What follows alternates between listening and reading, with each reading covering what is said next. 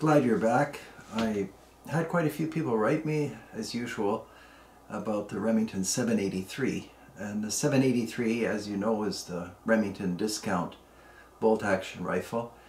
And I think I've shown you a Ruger American, and I had good words to say about the Ruger American. Uh, I haven't looked at the Savage Axis yet. Um, the 783 is here on the table. So I thought what I would do is, is show you the 783. Apparently this is a very fast selling rifle and uh, the new Remington is quite happy with the sales numbers. I just hear this through the gun world grapevine. Um, I thought it's probably fair uh, to compare the Remington Model 700 to the 783 and quite a lot of you asked a question, which was a good one. Should I buy a used Remington Model 700 or a new 783? And the 783 can be purchased just as the rifle, or you can buy one of these package deals where it comes with a scope. So I ended up buying the 783 with the scope, and I think we'll just move directly to the rifle now. Before I do that, I can tell you I took it to the range, and the 783, as expected, is an accurate rifle. Um, the one I own anyway. And as I've said before, you'd have to buy one and shoot the one that you actually purchased to know if yours is accurate. And when I say accurate, it was the usual inch and a half at 100 yards, which I think is routine these days. And that, of course, can be brought down with hand loads and maybe a better shooter. Anyhow, the 783 is here. And I took a long time before filming and I was thinking about it quite a lot because these new inexpensive rifles, um, they, they generally all shoot and they generally all do the same things um, to, to cut costs. So what have we got here? We've got kind of an unusual looking bolt action rifle with a squared off uh, trigger guard. And I'll just tell the story as it is. We've got this polymer stock with a recoil pad. It's some kind of rubber they haven't been around long enough to know how well they'll last. The 783 uh, follows the 770 and the 710 uh, in the discount Remington line. And the 710, 770, and 783 all come after the 788. And as you know, the Remington 788 was a discount rifle, but it ended up being in some ways better than their flagship rifle, the Remington Model 700. So I don't know, the 710 was a step backwards. There were all kinds of technical problems with the 710 as well as the 770. You may remember, and again it depends on how much you study guns, but the 710 and 770, the barrel was hydraulically forced into the front receiver ring. This is not necessarily conventional gun making, but it's an established, well-established way of fitting a barrel to a receiver. And actually my HK770 the semi-auto had the same hydraulically pressed in barrel.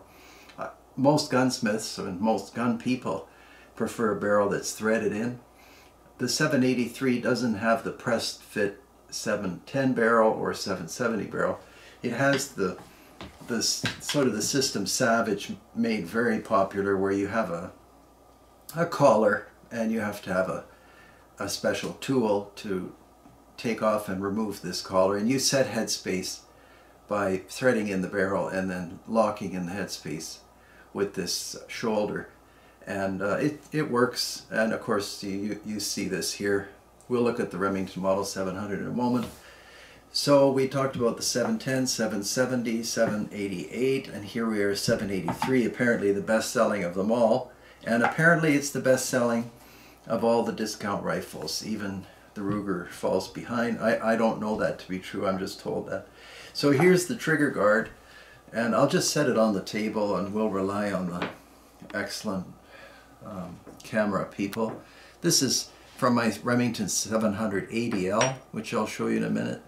So, I mean, this isn't anything world famous. It's just an aluminum trigger guard. But this is something else and it's uh, it works I mean it's supposed to protect the trigger and I guess it does that these days, these angular shapes seem to be popular. I don't know where the manufacturers find out what the public thinks is attractive, but I guess somebody thought that that's nice. And maybe it is. And um, here's the rifle itself. So we've got, you know, you can picture a production line. Um, you, you've, you've got to make a stock. You've got a barrel that probably shows up by the container load, or you make them in-house, whatever. I'm sure Remington makes these actually. And I, I undid the screws and everything. I took out the magazine which is here.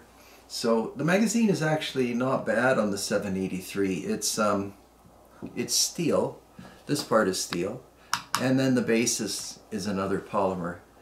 And uh, on the Ruger American, it's all polymer, and on most of the others actually. So that's kind of a nice feature, and it locks in place uh, positively. It's not difficult to remove and replace the magazine, which is, I think, a reasonable expectation. And then we've got the action and trigger. I'll show you that in a moment. And here's the here's the stock.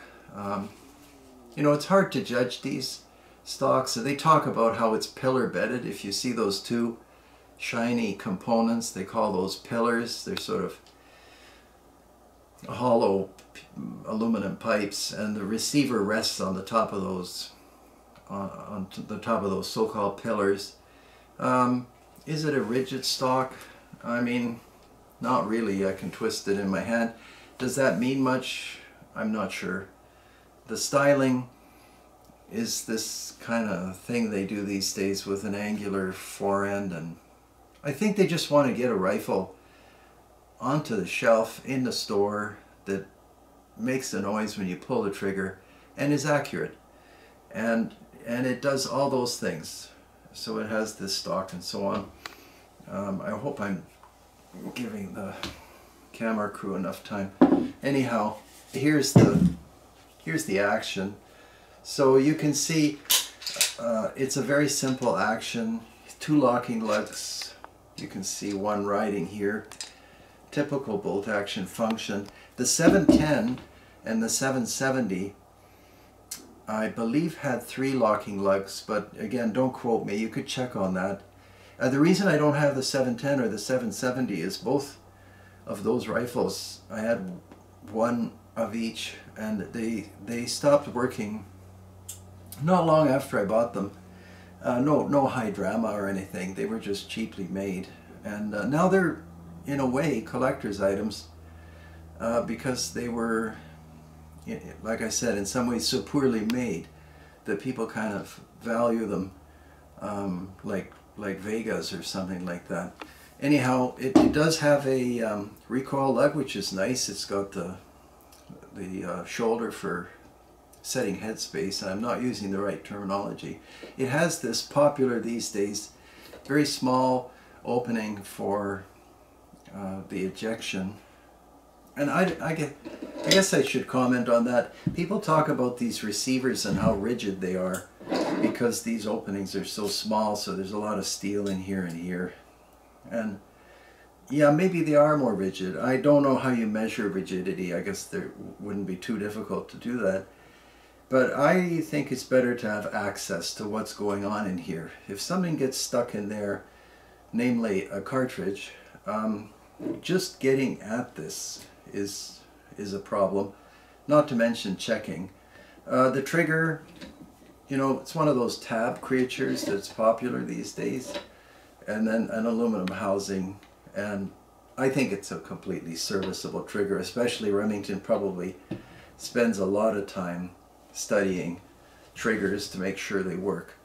And then one of the oddest features to me is this bolt handle.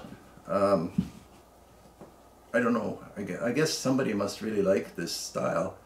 It looks very odd to me.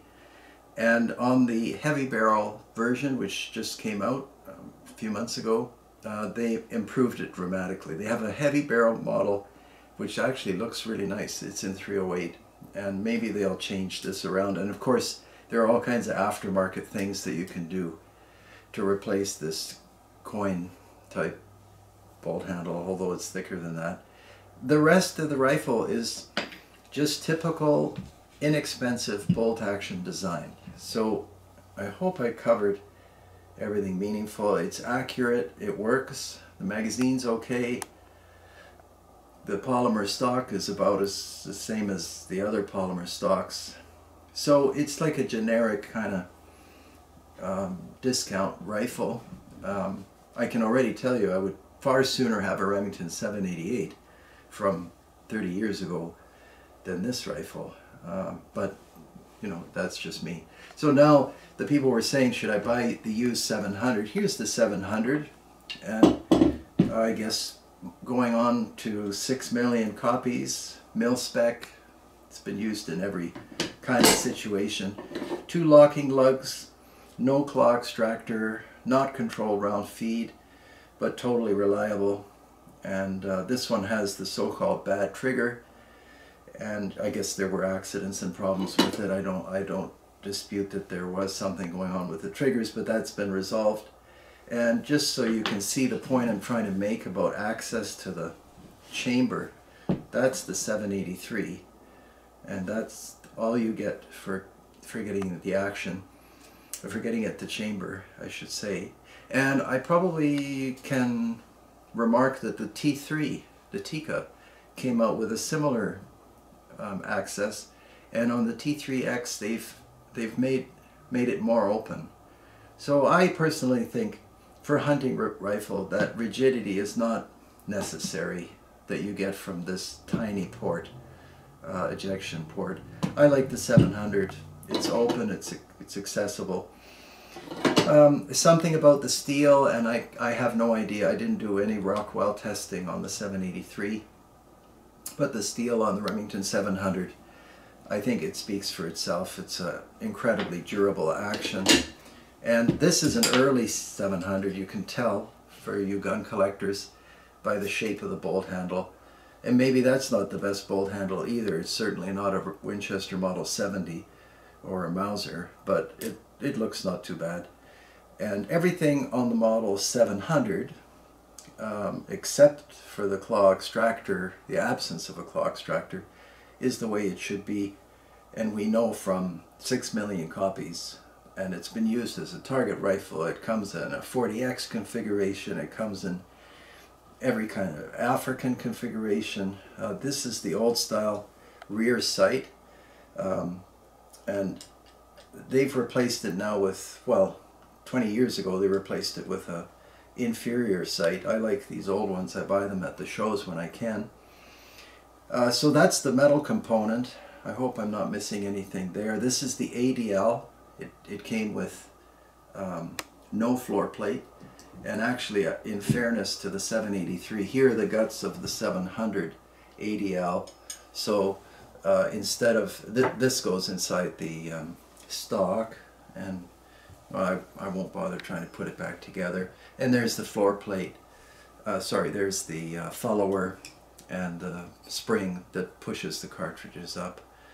And then we looked at the trigger guard already and um, then it had three action screws and so does the 783 and then the ADL was kind of in the same position as the 783 all Remington did was offer a less fancy model 700 and this is the stock from the ADL so you got a decent piece of walnut um, the inletting was fine it's all machine cut but it's all finished they tried to make it as waterproof as they could I'm not sure if the sling swivels are factory, maybe. There's no way that that you can twist these. I mean, people talk about how wood absorbs water and there's that whole theory out there. Maybe they do. And then I put this on the table. Uh, this would be the BDL from way back when, 1960 something. So quite similar to the ADL, but you can see there was a, a provision for a floor plate just a beautifully made actually stock. I don't even mind this impressed checkering. You know, for a long time, people were taking these wood stocks off of their 700s and ADLs and they were replacing them because of this hysteria that the barrel had to be free floating and that the wood was bending like bamboo and so on. And these were like 25 or 50 dollars. The people just almost discarded them. And I thought this is kind of shocking and undervalued. And the stocks they were replacing these beautiful wood stocks with, they looked just, to me, terrible. Um, maybe a wood stock starts to look terrible after, you know, heavy use. You get some nicks or whatever, but that's normal. That's hunting um, or evidence of use. But these other stocks, I thought they looked terrible, brand new out of the box. So I didn't follow what the people were doing, but it must have made sense to them, which is fine. I just bought these, so I, I in fact, this is another ADL that somebody put a recoil pad on. And you still, I'm sure, can find these. And by the way, uh, you can just interchange all these parts. You would think there'd be fitting, but mass production works. So um, that's the stock of the ADL here and here. We've talked about the bolt, the bolt handle. Uh, this is not a one-piece bolt handle on the 700. It's brazed here. Some people say that's a weakness. Uh, this is one of those, this gun, this action has a floating bolt head. It's, it's, theoretically it's not a bad feature because the bolt head will always be perfectly aligned with the base of the cartridge. And I think I see some brazing here. It's hard for me to tell. Maybe one of you can tell me whether that's brazed on. Not, not that there's anything wrong with brazing. But we've got a lot of really discount parts in the 783. And then this came with the scope, and I thought I should probably look at it a little bit. I can't find any markings. It doesn't even say where the scope is made. It has a, I'm, like I was, I'm not an expert, but it has an unusual field of view and a strange, it's hard to focus this scope at distance. I don't know exactly why. I also don't know if, if these Butler Creek these really, uh, really nice Butler Creek lens caps came with the scope. Maybe they did. Anyway, it works at 100 yards and, you know, 90% of what you're hunting is going to be at 100 yards, statistically anyway. Uh, I probably should have mentioned, some of you write me what caliber. So the 700 ADL is a 30-06. This is an early version with the short barrel and it's interesting, it has this cutout here in the top of the action, which some people told me is for a stripper clip. Some people told me it's for Magnum cartridges. If it is for Magnum cartridges, I don't know why it's on this gun. It's just a 30 6, but maybe it is. Maybe they used it for, you know, one action for for their whole line at that time. And the 783, uh, well, there's it's just what it is. It's um, it's a tube with a milled opening. I don't know how they make the tube maybe one of you can tell me. Um, and it doesn't really matter because it's so simple. Um, they really accomplished what they set out to, which was to make a rifle that's profitable even at three or four hundred dollars. And this is this rifle is virtually new. Naturally, I bought it used, um, and I I paid three hundred something for it. Uh, which rifle? Well, you know the answer already. I'd far rather have a used 700. Um, most hunting rifles, even when they look worn, they haven't had many rounds fired. This rifle, the ADL, um, it has some kind of character, it has decent stock. The steel is good, the action's proven, the barrel's excellent, also accurate. Um, I would say slightly, this particular one is slightly more accurate than the 783, uh, even though it's a 30-06 and, and there is uh, some evidence that the 30-06 as a cartridge is inherently less accurate than the 308. I tend to believe that. Uh, you, I, I don't mind buying a scope for my rifle. My rifles don't have to come with a scope, but if you want a scope included in the package, that seems to be popular. And in a way, you get the scope for free. Uh, on the bad side are all the things that, that make this a discount rifle, including this stock, which is nothing to write home about and um, I guess when you leave the store, um, you've got something that's worth less than you paid. It's just like a car now. And I don't think these are going to be going up in value anytime soon. I can't think of any features that make it a distinctive firearm. It just works, which is, is a lot. That's an achievement and that's a good thing. But beyond that, I don't see any collector value could be wrong. The 788 was also a discount, but it, I think when people saw the 788, they knew this is a lot more rifle than Remington was aware. I hope that's a decent review and in closing I just wanted to show you this is the old 700 with that old shaped bolt handle. So if you can keep that image in your mind and then this is the smoothbore 308 that experimental rifle I was working on. Um, this is the short action. And you can see how nice I mean if you want a rigid action this is it. But they they didn't compromise. Here's the new configuration of bolt handle. You can see the, it's hard for me to arrange all these parts, but that's the old one, that's the new one. They're both fine. And they're all better than, than the 783. And um, for rigidity, I mean, the short action accomplishes a lot. And it's got a thick receiver ring front and back. So, um, excellent. I, you know, it's easy to say great things about the 700 but now we're not talking about a cheap rifle anymore if you want to buy a new one. So of course there's always a place in the market for a discount product. But I still say it's just that people aren't aware how good maybe the U700s are. There, there are lots to choose from. And quite a few people have written me that um, as a result of this channel, they've become familiar with older rifles. And a lot of times retailers don't know what they have. They also are from generations that, you know, time passes and they don't study these things. But there, there are gems in those used racks, uh, way better than the 783. But at the same time, and in closing, uh, Remington did an amazing job. If someone told me go and offer a brand new rifle with a scope for $400 um, with, with excellent accuracy, uh, this would be a challenge and if the trigger is good. It's all there it's just a machine and and it, and I don't think they pretend that it's anything other than a machine. I hope that covers the ground that that I wanted to cover and that you should hear about and we'll compare the 783 and the uh, Ruger American that was a request and the Axis sorry I'm a little slow with those things and um, I'll get a 788 on the table and you, you'll be able to see, or you can check right now, just Google it, put a bunch of images or whatever.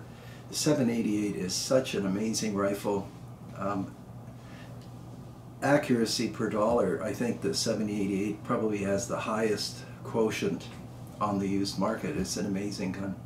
And I know that from owning many of them. So um, that's it. Thank you very much for watching. Uh, please push the subscribe button uh, right away after you watch this video. It makes a big difference to me and to be able to bring you these videos. And um, subscribe to Patreon. Uh, we cover a lot of stuff there that we don't cover here and you can access me personally more so and more quickly and ask for uh, custom reviews of things which I'm happy to accommodate. So that's it. You all take care out there and we'll see you next time. Thanks for watching.